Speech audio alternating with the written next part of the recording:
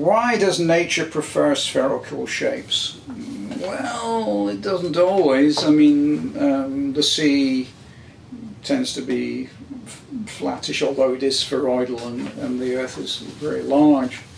Um, but um, I think it, it's more dependent on uh, what forces are, more, are involved. So if you're on a very large scale, gravitational forces pull the sun into a spheroidal structure. Um, on a small scale, droplets form, and what pulls them in is surface tension effects.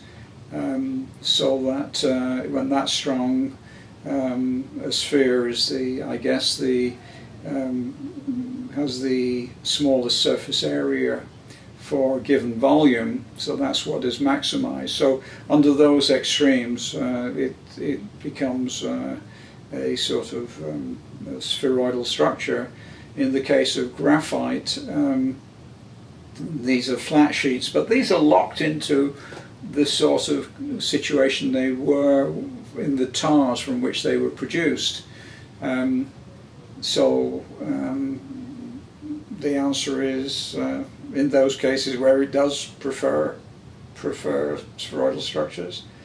Um, the forces of nature, surface tension, gravitational forces act to form sphere.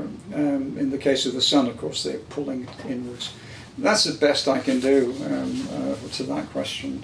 That's from G.V. Shreyas of Bangalore.